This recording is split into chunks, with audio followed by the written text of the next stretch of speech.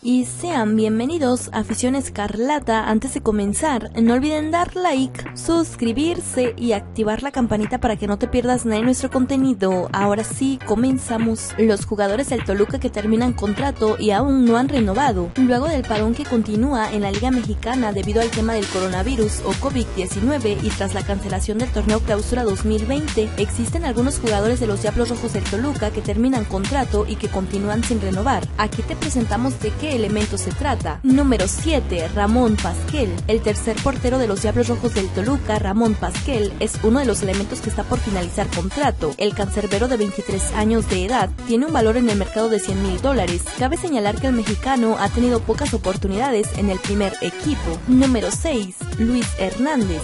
Otro de los futbolistas que cierra contrato con los choriceros es el defensor Luis Hernández. El lateral fue titular indiscutible en el clausura 2020. Desde que estaba Ricardo Antonio Lavolpe se adueñó de un puesto dentro de los 11 primeros. A la llegada del Chepo a la institución, continuó siendo de los iniciales. De vez en cuando ha alternado banquillo con otros de sus compañeros de vestuario. Número 5. Diego Rigonato. Diego Rigonato fue uno de los más señalados por parte de la afición de los Diablos Rojos del Toluca debido a su escaso rendimiento en cada partido. Su llegada al club se anunció con bombo y platillo. Incluso algunos se aventuraron a señalar que el brasileño sería el reemplazo del maestro Antonio Nael A pesar de que finaliza contrato, podría ser uno de los candidatos para continuar en el equipo. Número 4. Richard Ruiz. Por otro lado, Richard Ruiz también es uno de los futbolistas del Toluca que está por terminar contrato y que sigue sin pláticas para la renovación. Si bien es cierto que ha tenido escasas oportunidades cuando ingresó de cambio, hizo bien las cosas. Posiblemente sea uno de los sacrificados para el próximo semestre. Número 3. Fernando Tobio. Dentro de los más recriminados por su actitud dentro y fuera de la cancha aparece el zaguero Omar Tobio.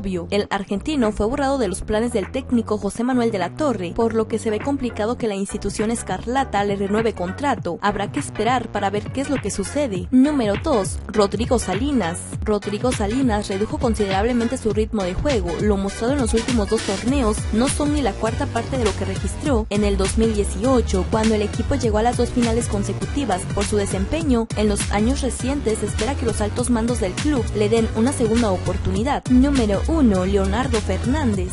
Uno de los casos más dramáticos es del uruguayo Leonardo Fernández. El charrúa fue el elemento más destacado en lo que se jugó del clausura 2020. Además de ser el alma y el gol del conjunto toluqueño, desafortunadamente para el club, los Tigres son los dueños de su carta y para convencer a los felinos de quedarse en el Estado de México, Toluca deberá pagar cerca de 15 millones de dólares, una cantidad exorbitante y que no pretenden pagar.